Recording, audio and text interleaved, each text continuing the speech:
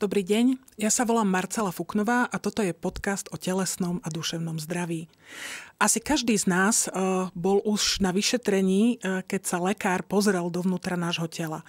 Buď na rengene, na CT, alebo na magnetickej rezonancii, alebo na nejakom inom zobrazovacom vyšetrení. Ja medzi nami vítam radiologa, uh, doktora Maroša Rudnaja z Univerzitnej nemocnice Luja Pastera v Košiciach. Dobrý deň. Dobrý deň, ďakujem. Pán doktor, eh, radiológia je asi jeden z eh, najviac sa rozvíjajúcich odborov v medicíne. Najrychlejšie tie eh, nové metódy prichádzajú naozaj veľkou rýchlosťou. Prečo je to tak? Ako sa vyvíja tento odbor? Mm, radiológia je v podstate odbor, ktorý ako jeden z mála v medicíne sa dá de facto ohraničiť mm, dátumom svojho vzniku, pretože ako prvotná zobrazovacia modalita sa rozvíjal klasický rengen, ktorý, ktorého počiatky vznikli, alebo ktorého počiatok siaha na do decembra roku 1895, keď uh, Wilhelm Conrad Röntgen popísal tzv. lúče X, ktoré sa teda, tento názov sa dodnes používa v anglosaskom svete a v anglosaskej literatúre pre označenie RTG lúčov. Takže od toho momentu v podstate vznikla radiológia ako odbor. No a postupne sa pridávali ďalšie rôzne modality s tým, že sa vyvíja, rozvíjali aj možnosti nielen použitím rengenového žiarenia, ale aj s použitím ultrazvuku a následne aj magnetické rezonancie, respektíve paralelne s tým sa rozvíjala nukleárna medicína, to znamená zobrazovanie pomocou radionuklidov, to znamená malé množstvo radioaktívnej látky, ktorá následne sa potom sleduje, ako postupuje telom a ako, ako sa distribuje v tom tele. A toto všetko je spojené možno viac ako ostatné odbory, dá sa povedať, s rozvojom techniky, pretože veľa z toho bolo umožnené tým, že sa rozvíjali počítače, že sa rozvíjala počítačová technika a to v podstate súvisí s rozvojom aj do dnes. Dnes už veľkú časť v radiológii, alebo teda veľkú, dá sa povedať, jednu samostatnú vetvu výskumu v radiológii tvorí umelá inteligencia, to znamená vlastne kedy ten, tie algoritmy tej umelej inteligencie pomáhajú tomu radiologovi uh, zachytiť patológiu, zhodnotiť ju nejakým spôsobom, urychľujú, uľahčujú tú prácu. Nie je to o tom, že by nás to nahradzalo. Ten, uh, ten ľudský faktor, tá subjektivita tam stále je a tá stále nie je nahraditeľná, ale do veľkej miery vlastne to, aj vo všeobecnosti to počítačové spracovanie obrazu, lebo viac menej keď zoberieme tie zložitejšie modality, ako je ultrazvuk, MR a CT, alebo potom už aj kombinácie e, s nukleárnou medicínou ako PCT, PET-MR, tak e, tieto v podstate vôbec vznik toho obrazu alebo vytvorenie toho obrazu je závislý od počítačov. To nie je proste nahraditeľné klasickým filmom, kedy ide pomerne o, o technológiu alebo techniku podobnú klasickej fotografii. Nie je to niečo, na čo by bola proste potrebná počítačová technika, ale pri tých zložitejších vyšetreniach tak práve toto tam zohráva tú úlohu. Mm-hmm, čiže no vy musíte sa... byť aj technicky zdatný, dá sa tak povedať, hej? Áno, dá sa povedať, že uh, áno, do určitej miery je potrebné vedieť či už tú fyziku k tomu, ktorá sa toho týka, alebo čiastočne aj techniku.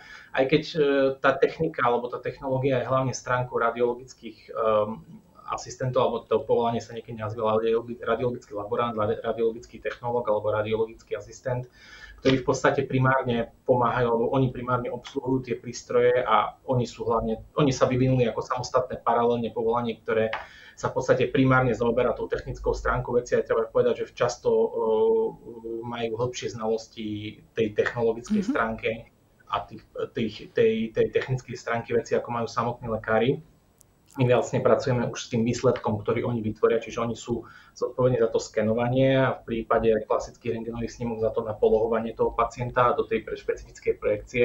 Pri tých CT a MR tam už je to, tam je to skôr o tom, že o tom obsluhovaní toho prístroja a vlastne voľby, voľby tých parametrov technických v zahraničí máme, alebo teda dá sa povedať, že v niektorých častiach sveta, v Anglicku, v Amerike sú aj e, špecifické povolanie sonografistov alebo sonograféry. To sú v podstate ako keby radiologickí technici, ale ktorí robia ultrazvukové vyšetrenia a tie následne zhodnocuje lekár také špecifické, že u nás sa e, ultrazvuku venuje priamo lekár, či už radiolog alebo mhm. niektoré mm-hmm. ostatné odbory, ginekológovia a podobne. Pán doktor, Takže... môžem sa spýtať ešte, prepačte, e, v, keď lekár teda, alebo keď človek, lekár má podozrenie na nejakú diagnózu, u nás sa naozaj často stane, že strčí do ruky človeku žiadanku na ten rengén alebo v, na to CT, hoci to je asi zložitejšie, ale každopádne na nejaké zobrazovacie vyšetrenie. A v ktorému má teda pomôcť tú diagnozu určiť. Ako v, je to skutočne tak, že vy ste tá inštitúcia, ktorá povie, že ten človek e, tú diagnozu má alebo nemá, alebo je to len jedna z častí a m, mm, ako je to? Stáva sa vám, že o, e, ten človek príde ku vám s nejakou diagnozou, s podozrením na nejakú diagnozu, odíde s inou? To je práve to, že o, tí lekári vlastne posiel, aj ten rozvoj tých, tej, tej, tých metód je práve kvôli tomu, že tá vizuálna informácia, ktorá z toho je, je veľmi podstatná pre tvorbu tej diagnózy. Uh, nedá sa povedať, že by sme to boli len my, ktorí o tej diagnoze rozhodnú, lebo vo väčšine prípadov už a hlavne dnes je to, tá, razí sa princíp multidisciplinarity, to znamená, že tá diagnoza vzniká nejakou súhrou informácií toho klinického lekára, ktorý, alebo teda toho napríklad pľúcneho lekára alebo niekoho, kto to vyšetrenie indikoval. Následne toho, čo my zhodnotíme z tých obrazov, vo väčšine prípadov tá úloha tej radiológie sú aj prípady, kedy priamo už sme schopní potvrdiť tú diagnozu, čiže v podstate môžeme napísať definitívnu diagnozu z tej zobrazovacej modality, ale vo väčšine prípadov je to tak, že e, to naše vyšetrenie je o tom, že my máme do určitej miery zúžiť to spektrum, že o čo by sa mohlo jednať, po prípade potvrdiť to, čo sa tam predpokladá. Napríklad najjednoduchší príklad je snímka mm, končatiny pri podozrení na traumu. Čiže tam je úloha toho zobrazovacieho vyšetrenia tá, že pokiaľ má ten lekár uh, pred, predpokladá, že tam je zlomenina nejakej kosti, tak pošle na, tú, na, tú, na ten rengen a na tom rengene vidíme, že tá kost je zlomená. Je to je taká tá jednoduchšia. Uh, zložitejšie je to pri nejakých komplexnejších patológiách, napríklad pokiaľ máme nejaký, najmä tomu nádor niekde, alebo alebo nejakú, nejaký komplexný, komplexnejší patologický proces, napríklad v pľúcach, tak my na základe tých obrazov vieme povedať, že pravdepodobne by sa mohlo jednať o to, alebo o to, alebo o to najskôr, hej, podľa týchto. Ale nie vždy, nie vždy sme schopní povedať zo zobrazovacej modality, že toto je presne ten typ, alebo dokonca pri nádoru, že toto je konkrétne ten typ nádoru. Do určitej miery sa to dá, pri niektorých sú také špecifické prípady, kedy sa dá povedať už zo zobrazovacej metódy, že áno, je to presne tento typ nádoru, ale vo väčšine prípadov my zružujeme tú, tú, tú diferenciálnu diagnózu tzv., čiže čo by to rôzne mohlo byť. A následne sa to potvrdzuje, či už sa zoberie vzorka histologická, alebo sa vytvára nejaký komplexný obraz aj z toho, čo povie ten klinik, alebo ako sú laboratórne parametre a podobne. Z akých odborov najčastejšie riešite diagnózy? Pri ktorých sa tie odboroch sa tie zobrazovacie metódy, tie zobrazovacie vyšetrenia používajú najčastejšie, alebo sú najpodstatnejšie podľa vás? Prakticky, dá sa povedať, že prakticky absolútne vo všetkých odboroch je toto už e, bežnou súčasťou vyšetrenia. E, čo sa týka rengenov, tak tam samozrejme najčastejšie sú e, traumatológovia a mm, ortopédi, prípadne pľúcni lekári. Čo sa týka CT, tak tam je domena hlavne v onkológii, v pľúcnej medicíne, v chirurgii hlavne. To je tá druhá časť, že vlastne to naše, to naše, tie naše metódy slúžia aj nielen teda na potvrdenie alebo na vylúčenie tej patológie, ale aj napríklad na posúdenie rozsahu, že povieme, že ten nádor siaha tam a tam, e, zasahuje do toho a do toho orgánu, čo môže byť podstatné napríklad kvôli tomu, že či ten pacient môže podstúpiť operáciu, je pre toho chirurga na rozhodnutie sa, či ten nádor napríklad je operovateľný alebo nie. Viete vy no napríklad a... zistiť, či to je zhubné alebo nie? To napríklad viete povedať? To vieme len v niektorých prípadoch, eh, alebo by som povedal, tak to vieme to nepriamo. To znamená, že keď vidím, že pacientovi nájdem napríklad nádor na pankrease a vidím, že má už aj vidím nejaké metastatické ložiska v pečení, tak tam sa dá predpokladať, že, že ten nádor je maligný, lebo sa správa maligne ale nie vždy je to možné. Hlavne teda pri niektorých eh, malých nádoroch nie je možné jednoznačne povedať. A nie je len podstatné to, že či je ten nádor maligný alebo benigný, ale pri dnešnej úrovni onkológie je, onkológie je podstatné aj to, že o aký konkrétny typ nádoru ide, aké konkrétne tkanivo, aké má genetické známky. Čiže tieto veci už potom následne to je v rukách patológov, ktorí vlastne z tej vzorky toho nádoru toto všetko vedia povedať. A toto je neoddeliteľná súčasť, čiže v zásade u nás je hlavné posúdiť, prípadne nádorov posúdiť ten rozsah a e, zúžiť možné spektrum, že o čo by sa teda mohlo jednať, alebo vylúčiť prípadne iné zmeny, lebo niečo môže vyzerať alebo imponovať ako nádor a následne to sa môže preukázať, že to je niečo iné, že to nie je nádorová patológia, ale nejaká iná. Nejaká iná. No, a čo sa týka ešte MR, tak tam najmä neurológia, tam to je jeden z dominantí, ale takisto ortopédia, veľké klby, ale v podstate aj chirurgia, onkológia, to viac menej každý odbor medicíny v dnešnej dobe už, už, toto, už tieto, tieto zobrazovacie metódy využívajú. Dokonca aj, uh, dokonca aj psychiatrie, odbor, kde by sme si mohli povedali, že predsa oni, keď sa zaoberajú e, mysľou a duševným zdravím, tak by to nepotrebovali. Ale je treba si uvedomiť, že tá psychická porucha môže byť výsledkom napríklad, napríklad aj nádoru v mozgu. Hej. Čiže oni často potrebujú napríklad práve vylúčiť, že v tom mozgu nie je napríklad nejaký nádor, ktorý by mohol viesť k takej symptomatológii, ako má ten pacient. Čiže naozaj uh, nenájdete praktický odbor medicíne, ktorý by to nepotreboval. V, pán doktor, v zahraničí nie je často až také bežné, že sa človek úplne bežne dostane na zobrazovacie vyšetrenie, najmä na tie zložitejšie.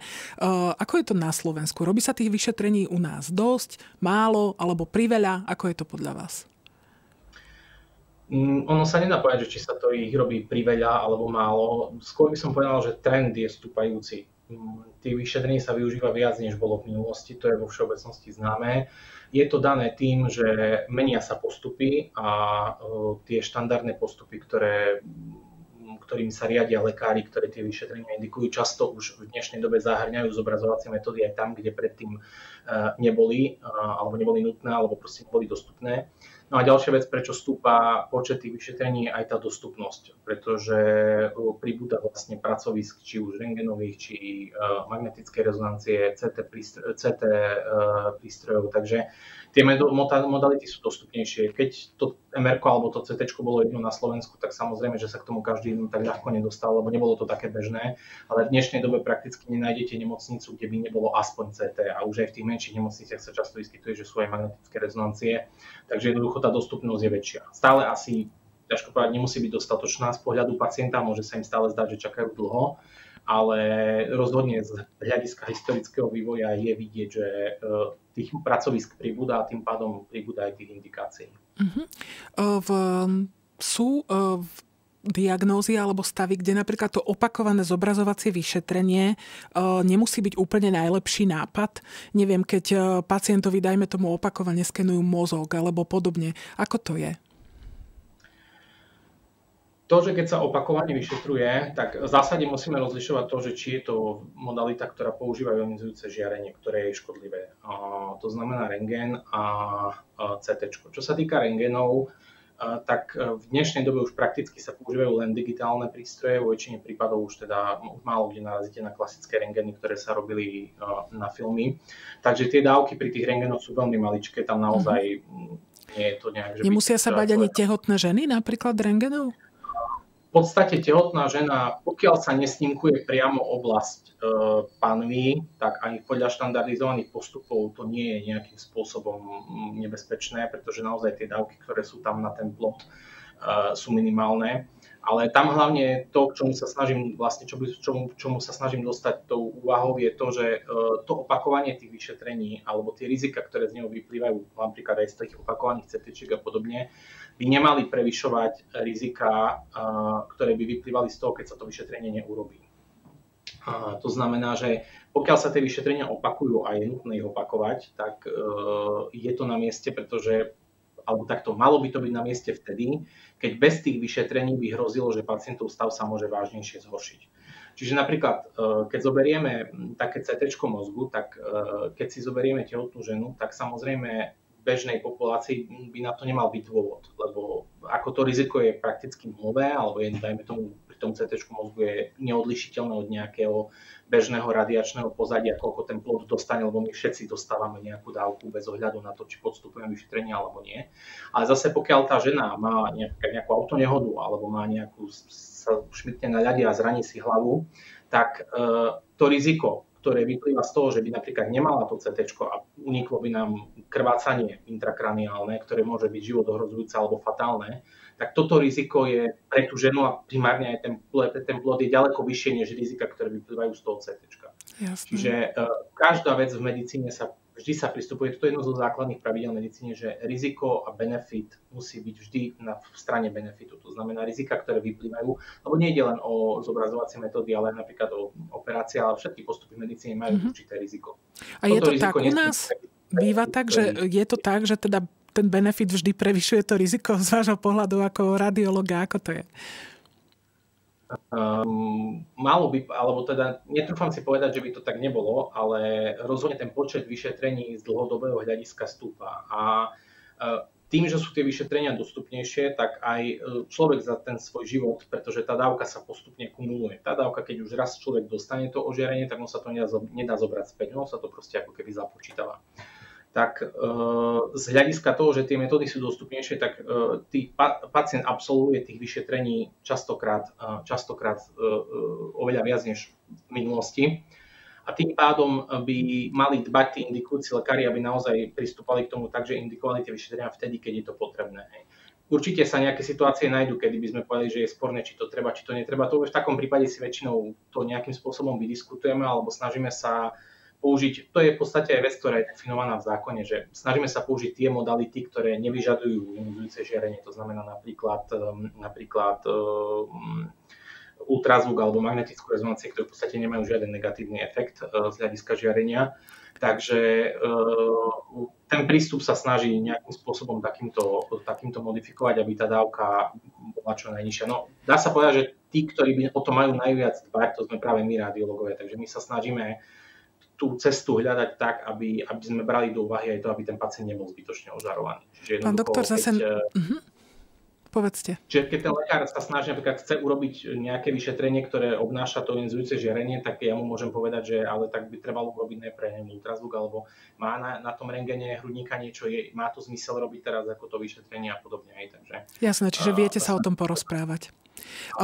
Ja by som ale bola napríklad rada, keby tu odznelo, lebo to je jedna z takých, um, jeden z takých častých uh, hoaxov, alebo dá sa povedať častých tém, čo sa týka napríklad preventívnych metód. V ženy sa boja chodiť na mamografiu, pretože majú pocit, v, dokonca jeden z tých hoaxov je, že to samotné by mohlo spustiť nejaký uh, zhubný proces v tom prsníku. Viete vy ako radiolog povedať, ako je to s takýmito preventívnymi metódami, ako je napríklad mamografia, že akú to má pre tú ženu aký to má prínos a oproti tomu teda riziko? To riziko, ktoré eh, je z mamografie, je naozaj minimálne, eh, pretože tam síce samozrejme dochádza k ožiareniu, čiže nejaký minimálnu dávku to tkanivo absorbuje, ale vzhľadom na to, aký častý je karcinom prsníka v populácii, to riziko z prehliadnutého alebo z neskoro diagnostikovaného nádoru a hlavne pri častom výskyte, pretože to nie, nejde o chorobu, ktorá by bola nejak raritná, ale naozaj pri rakovine prsníka ide o ochorenie, ktoré je v populácii veľmi, veľmi časté. A teda časť žien bohužiaľ na ňo aj zomiera, tak e, to je zase o tom, že to riziko, ktoré vyplýva z mamografie, je minimálne, kdežto to riziko, samotné riziko, že žena rakovinu prsníka dostane v priebehu života a to riziko, ktoré by vyplývalo z toho, že sa neskoro zdiagnostikuje, je ďaleko vyššie než to riziko, ktoré, ktoré, ktoré vyplýva zo samotného ožiarenia. Čiže ten benefit pre tú ženu je jednoznačne v prospech realizácie týchto screeningových vyšetrení. A čo je dôležité povedať je, že neexistuje modalita, ktorá by dokázala plnohodnotne nahradiť mamografiu. Jednoducho u žien po 40. roku, po 40. roku života tá mamografia je na mieste, pretože len mamografia dokáže zachytiť naozaj tie najmenšie nádory v tom najskoršom štádiu ktoré nemusí byť vidno ani na ultrazvuku a hlavne nie vždy je e, proste tá, tá, tá prevencia, ten screening uh, je kombinácia mamografie a ultrazvuku väčšine prípadov, pričom ten ultrazvuk väčšinou tvorí ako keby doplnok k tej mamografii, ktorú ten radiolog zaoberajúci sa mamodiagnostikou používa ako doplnok, aby si ozrejmil napríklad niečo, čo sa mu na tej mamografii nepozdáva. Ale naozaj je nutné povedať, že z hľadiska prevencie rakoviny uh, je najpodstatnejšie samozrejme je samo, preven, samovyšetrovanie, čiže dbať aj dávať si pozor a sledovať, či nejakú hrčku alebo niečo nezbadám na sebe, ale z hľadiska tej, tej zobrazovacej diagnostiky naozaj mamografiu nie sme schopní ničím v dnešnej dobe nahradiť. Dôležitú úlohu mala, radio, mala radiodiagnostika aj počas covidu. Asi je to tak, že vy ste boli tí, ktorí videli tých nálezov na tých plúcach asi nespočetné množstvo. Mal ten COVID nejaký charakteristický, typický obraz pre vás, že ste videli, aha, tak toto je COVID v plúcach?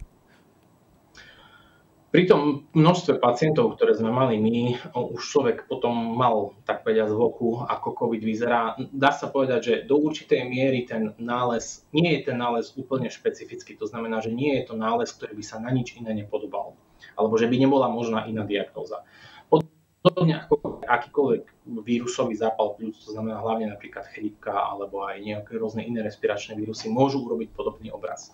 Ale v kontexte toho, ako vlastne sa vyvíjala diagnostika covidu, hlavne hlavne už v tej druhej fáze, alebo proste už v čase, keď e, e, dostupnosť tých testov, hlavne toho PCR testovania bola naozaj široká, to znamená, že sme nečakali na to, kým pacient má 2-3 dní, kým dostane výsledok testu, ale naozaj v súčasnosti sme schopní robiť tú PCR diagnostiku, alebo teda kolegovia, ktorí pacientov posielajú, sú schopní robiť priamo na ambulancii, tak sa, a samozrejme takisto antigenové testy, ktoré už robia priamo v sanitke, napríklad keď toho pacienta vedú, tak v dnešnej alebo v súčasnej situácii my už neriešime to, že či ten pacient COVID má z hľadiska radiológie, pretože my, či ho má alebo nemá, už vieme podľa, než ten pacient ku nám príde. Spočiatku to bolo také, že naozaj uh, mali sme postupy, že ako ten COVID, boli, boli určité súbory úplne na začiatku pandémie, boli odporúčané postupy, či už Slovenská radiologická spoločnosť alebo Česká radiologická spoločnosť e, vydávali, že ako ten COVID vyzerá s nejakými kazuistikami, aby sme vedeli sa k tomu približiť, že aha, toto by asi mohol byť COVID, ale vlastne s rozvojom tej diagnostiky laboratórnej my už viac menej neriešime, či ten pacient COVID má, my už vieme, že ho má, ale my už riešime to, ako, aký je rozsah toho postihnutia. To znamená, nakoľko sú tie pľúca postihnuté, to je pri tej primárnej diagnostike. Či sú tam nejaké komplikácie, to je ďalšia vec, pretože pacienti, ktorí boli na umelej pľúcnej ventilácii, tak tam sa často môžu vyskytovať komplikácie s tým spojené. No a v dnešnej dobe už veľkú časť pacientov tvoria tzv. post-covidoví pacienti, kde sledujeme, či tam nezostali nejaké reziduálne zmeny po tom covide, pretože ten covid naozaj je z hľadiska pľúc, môže, môže mať závažné aj v podstate dlhodobé následky, tie pľúca môžu byť trvalo poškodené. Takže my už v dnešnej dobe skôr sa zaoberáme tým, že ako je ten COVID, aký je rozsah toho COVIDu, tých pacientov s COVIDom a u pacientov, ktorí prekonali COVID, nakoľko tie ich pľúca majú nejaké známky chronického poškodenia. Je to časté, akože ten COVID, e, ten COVID, viem, že tie nálezy e, sa asi dramaticky menili, že tam sa zrejme naozaj stalo, že zo dňa na deň, možno, že v priebehu pár hodín bol ten nález iný. A... Tam sa stalo často, to sme skôr hodnotili z hľadiska snímok, lebo tí pacienti, ktorí boli na, na hlavne umelej ventilácii, tam si treba uvedomiť, že takého pacienta transportovať na CT. My nevieme prísť CT za pacientom. S rengenom áno, ale s CT nie. Čiže transport takého pacienta na CT je, je zložitý z hľadiska tej intenzívnej medicíny. Takže často sme to hodnotili na základe rengenov, ktoré síce majú trošku nižšiu senzitivitu ako CT, ale častokrát bolo naozaj za 24 hodín viditeľné, že keď tie snímky dal človek vedľa seba, tak bolo vidieť, že za 24 hodín toho pacienta sa ten, tie pľúca dramaticky, dramaticky zatienili v podstate, bolo vidno, že tam dochádza k tomu zápalu.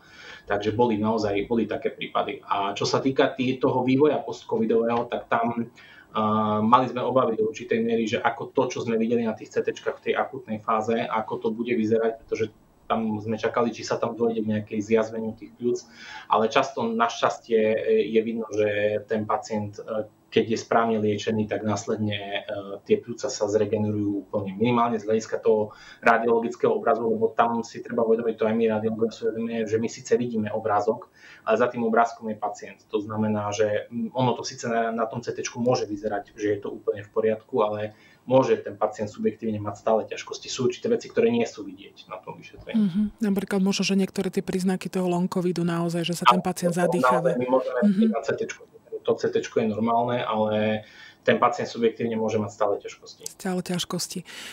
Pre mnoho ľudí dá sa povedať, sú tieto zobrazovacie vyšetrenia nepríjemné. Najmä tá magnetická rezonancia, také tie vyšetrenia, kde vás zavrú do nejakého tunela, kde to búcha, hučí. V, dá sa tomu pacientovi nejako pomôcť, aby to vyšetrenie zvládol v poriadku?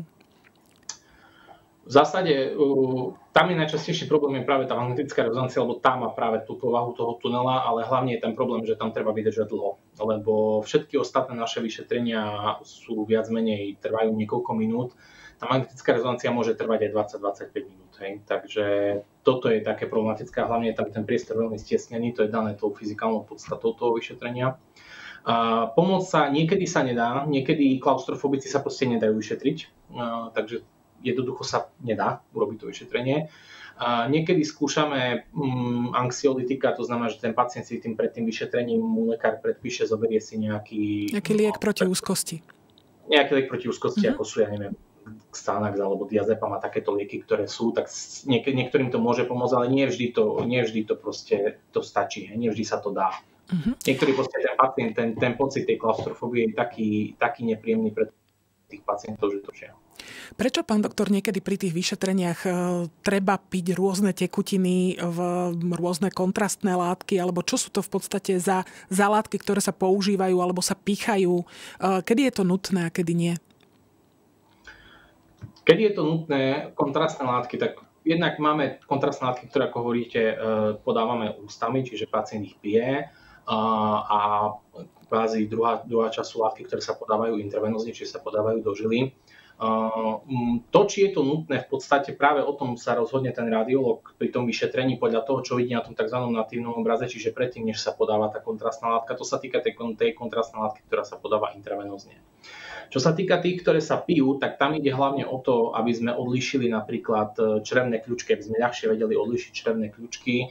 Tam niekedy stačí voda, to už záleží potom od jednotlivých pracovisk, či sa, či sa tá kontrastná látka podáva e, perorálne, alebo či ten pacient pije len vodu, či sa podáva večer predtým, aby sa dostala do hrubého čreva a podobne.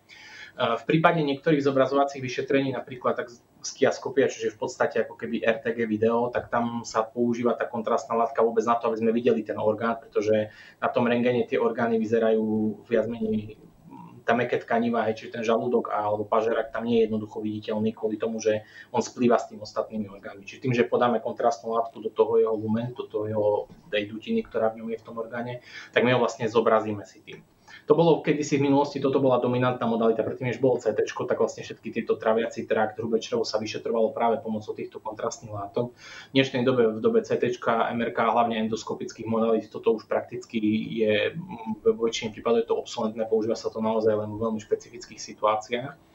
No a tie intravenózne kontrastné látky, to je podobné a to je hlavne dané tým, že e, to tkanivo, to patologické tkanivo, hlavne teda nádorové alebo zápala, tkanivo postihnuté zápalom, ono to, ako rýchlo do neho tá kontrastná látka preniká a či vôbec do neho preniká, to je dané práve povahou toho, toho tkaniva. Napríklad typické je to pri náleze v mozgu. V mozgu, v podstate v zdravom mozgu, tá kontrastná látka, mozog má vo vnútri tak usporiadané tkanivo, tak usporiadané bunky, že on v podstate neprepúšťa z tej krvi tú kontrastnú látku do toho tkaniva. Čiže Eh, inak povedané, ten, ten, tá kontrastná látka v podstate pretečie cievami v tom mozgu, ale do samotného tkaniva dovnútra neprenikne. No a práve to je typický príznak napríklad agresívnejších nádorov mozgu, hej, je to, že tá, tá bariéra, tzv. hematoencefalická bariéra, sa narúša a my vidíme, že sa doschádza k vysycovaniu toho nádorového tkaniva vo vnútri v tom mozgu, čiže dochádza tam k tomu, že sa tam niečo vo vnútri síti. No a to je práve to, čo my potrebujeme, pretože my kombináciou toho, ako to vyzerá po podaní tej kontrastnej látky, a to vieme napríklad aj na ultrazvuku urobiť, už v dnešnej dobe už aj na ultrazvuk máme kontrastné látky, tak to, ako to vyzerá v určitom čase, keď podáme tú kontrastnú látku, ako ten nádor alebo to ložisko sa tzv. síti, tak my z toho vieme povedať, e, bližšie vieme špecifikovať. Jednak to pomocou toho ľahšie vidíme, lebo niektoré ložiska sa zobrazia práve tým, že to okolité tkanivo sa nasytia oni sa nevysytia ale zároveň tým, ako sa to ložisko síti samotné, my vieme povedať, že pravdepodobne pôjde o tento typ nádoru alebo pravdepodobne pôjde o tento typ nádoru. No a potom špecifickú situáciu tvoria vlastne cievy, kde to podanie kontrastnej látky samotné slúži vlastne na výplň tej cievy, aby sme ju videli. Aby sme ju videli, aby sme mm-hmm. videli, či z nej netrčí nejaká aneurizma alebo podobne. Uh, to je ďalšia. Uh, vyšetrenie PET-CT, na ktoré chodia niekedy teda v pacienti, onkologickí pacienti často, v, hovorí sa o ňom, že v tie ložiska, tých, tie nádorové ložiska, možno, že tie metastazy tam svietia. Je to tak a prečo je to tak? Čo to znamená, že svietia? PET-CT vyšetrenie je v podstate vyšetrenie, ktoré kombinuje sebe odbor radiológie a odbor nukleárnej medicíny. Podstatou toho vyšetrenia je, že my zobrazujeme pomocou CT, ktoré detálnejšie zobrazí anatómiu, čiže vidíme orgány, hranice, presah týchto e, štruktúr medzi sebou alebo prípadne patológie. Tá pozitronová emisná tomografia, to je to PET, to je zase o tom, že uh, áno, aj PET vie zobraziť anatómiu, ale nie tak presne ako to CT, ale hlavne tým, že tú látku podávame na nejak, tá, tá radioaktívna látka je na nejakom nosiči chemickom, ktorý do určitej miery vie niekde v tom metabolizme sa ako keby umiestni, hej, keď je to cukor, ktorý je označený pomocou, pomocou mm, molekula, teda glukózy, molekula cukru, ktorý je označený pomocou radioaktívneho uh, radioaktívnej látky v malém množstve, tak uh, pomocou toho radiofarmaka my vieme zobraziť určité cesy.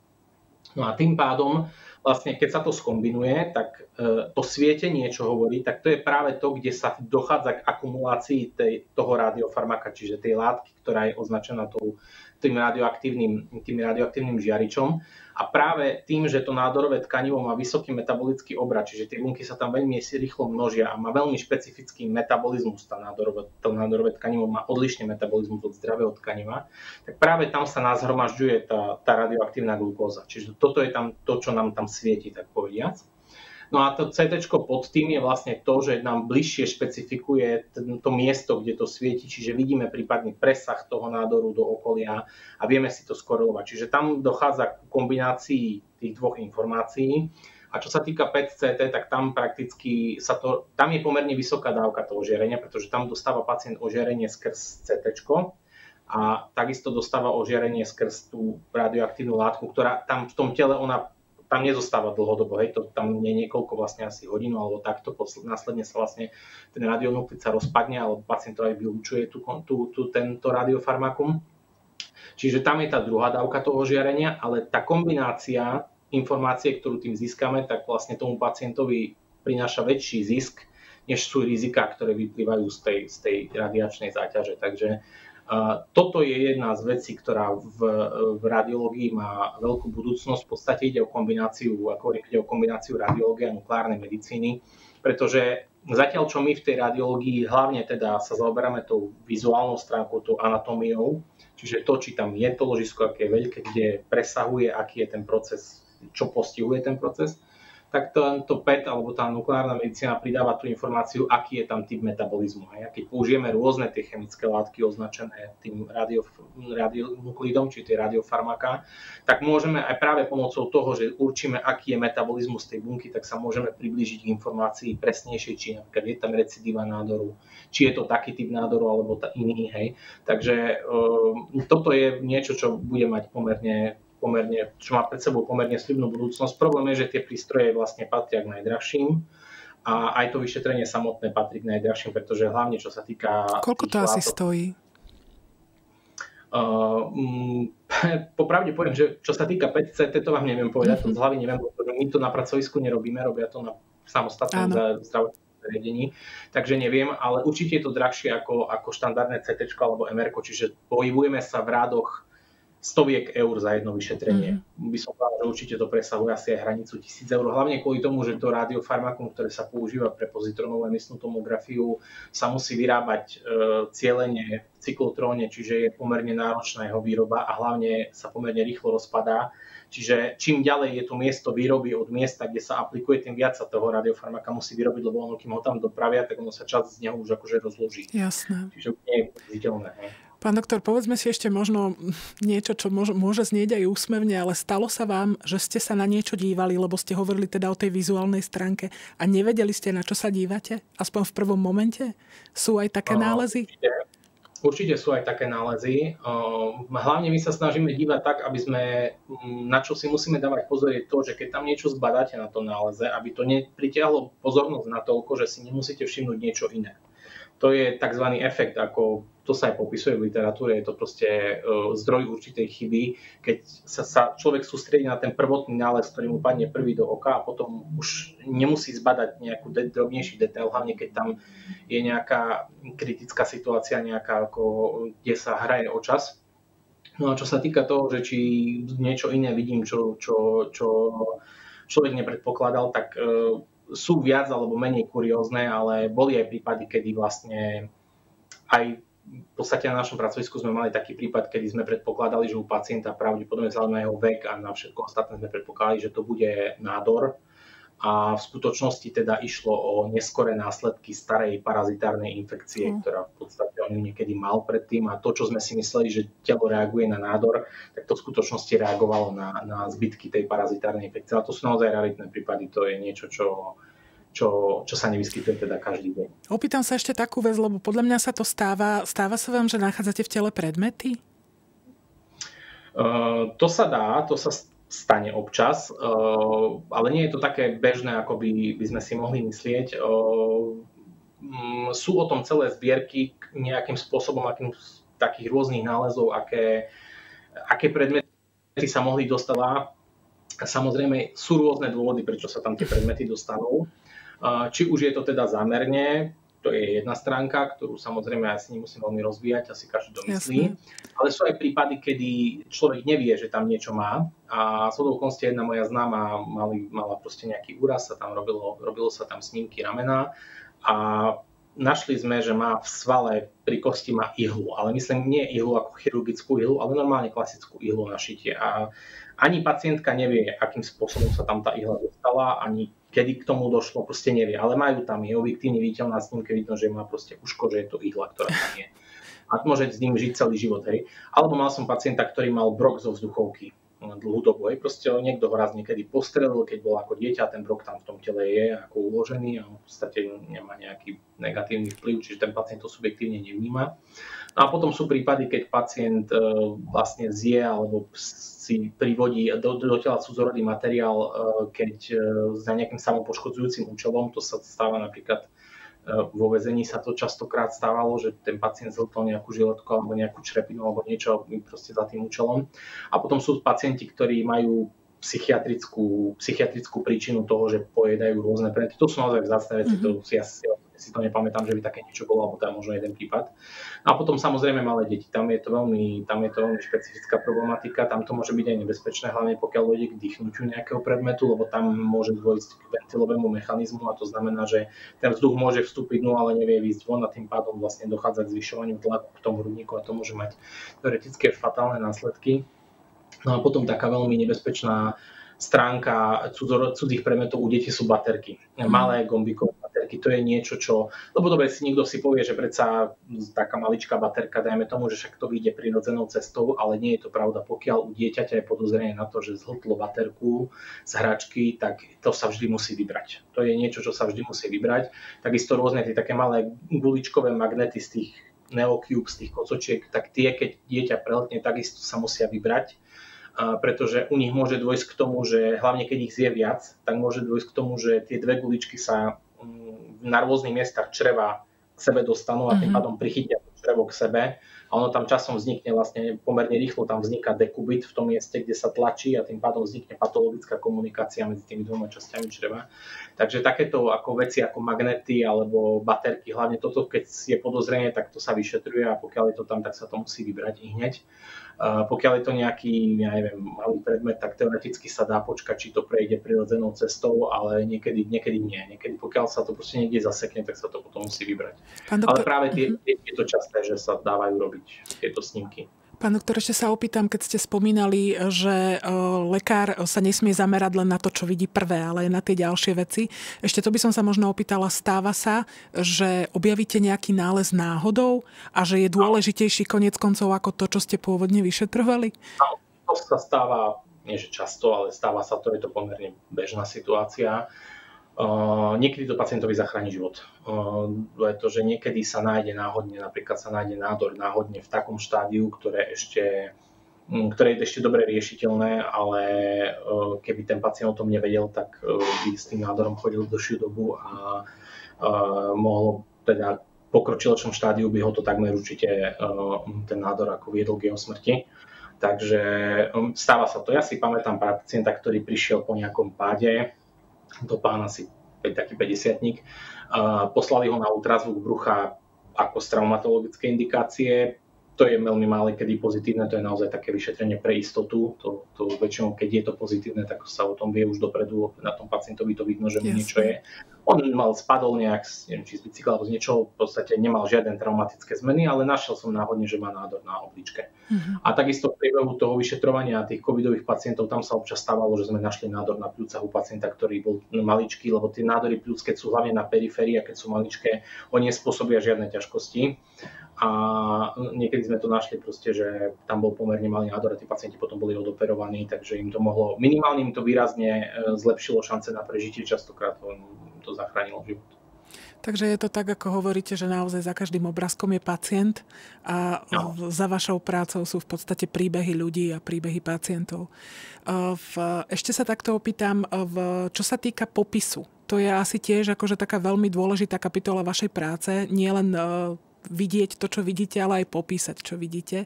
V, koľko vám to zaberá času a čo je pre vás samotného napríklad, napríklad dôležitejšie, alebo čo vás možno viac naplňa z tejto práce? Samotné to pozorovanie alebo popisovanie toho? Popis, ono je to také, mm, na slovenčine sa používa termín popis, ono správny termín diagnostický popis, ono to nie je úplne o tom, že je to len nejaké opísanie tej snímky. Často si to takto lajci predstavujú, dokonca aj niektorí lekári si to takto často predstavujú, ale ono to nie je pravda, lebo to opísanie tej patológie je len tá jedna stránka veci, ale práve to premyšľanie nad tým, že čo to, čo opisujem, že tá morfa patologická, čo vidím na tom, na tom skene, čo je za tým, čo je v skutočnosti teda. A tam už musíte zapojiť do toho aj to, čo o tom pacientovi viete, čo ideálne sa dozvieme do žiadanky alebo čo si dohľadám v systéme, čo viete zo samotnej medicíny, teda hej, z toho svojho odboru a tým spádom tieto informácie poskladať. Čiže on sa to síce volá popis, ale ono je to skôr nejaká taká diagnostická rozvaha, a úvaha nad tým, čo to vlastne na tom obrázku je a aké to má dopady pre toho pacienta. Mňa samozrejme tak samotné to písanie toho popisu v dnešnej dobe už často sa používajú diktafóny, že sa diktuje a ono to prevádza teda ten text priamo na, teda tú reč priamo na text. A to je tá stránka samozrejme nie že nudnejšia, ale to je pre mňa je podstatnejšie to, keď nad tým rozmýšľam, to, čo ma na tom baví, je vidieť to, premyšľať nad tým a vytvoriť z toho nejakú diagnózu. Už to dať to na papier, to už je otázka skôr ako skôr Taká ako... automatická. Uh-huh. Taká a... automatická. No koľko to trvá, no tak e, pokiaľ je to napríklad také negatívne CT mozgu, tak to viem za 10-15 uh-huh. minút poriešiť. A, ale pokiaľ je to napríklad pacient s nejakým rozsiahlejším nádorom alebo je tam nejaký rozsiahlejší nález, tak e, on to môže trvať aj 2-3 hodiny. Keď Jasné. To, to Čiže dá sa povedať, že je to istým spôsobom taká detektívka niekedy.